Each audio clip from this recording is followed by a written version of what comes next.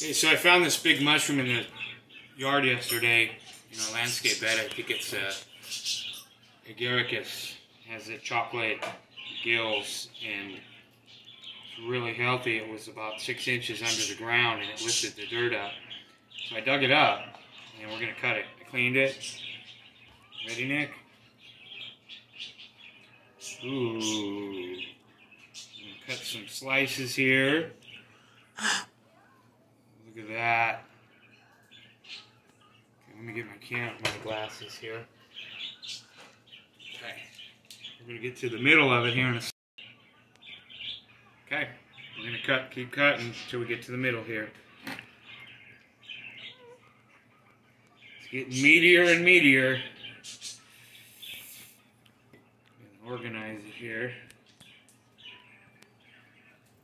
The way that I cut it. Ready? Another slice. Wow. No stranger to cutting up giant mushrooms, that's for sure. A little bit. That's just a hollow spot. Okay. Get into the stock a little bit.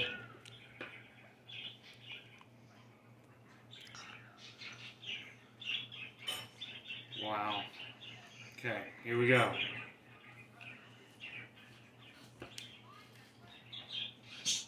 Woo! Oh, yum. It looks like seagull wings. Yeah, we'll start on the other end now, and then we'll end up in the. Well, we'll turn it around. Okay.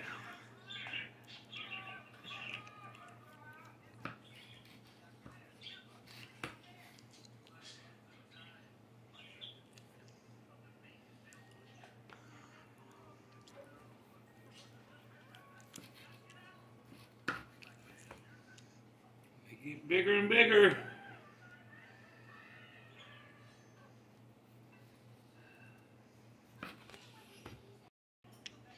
Okay. Start on the other end.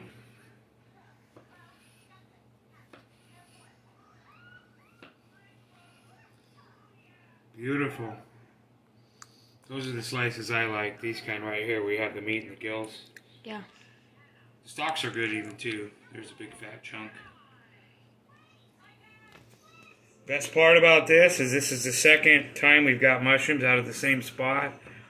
The other ones were the same species, so they were just smaller. And there's another one starting to push the earth up too. There's two more. Two more, yeah. Okay. Oop, broke that one. That's okay. Put that there.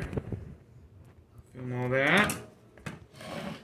That's what we get from one mushroom.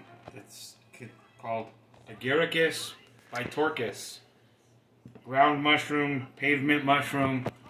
Very edible. It's related to the white store-bought button mushrooms that we all eat in salads and stuff. So smells phenomenal if you like mushrooms.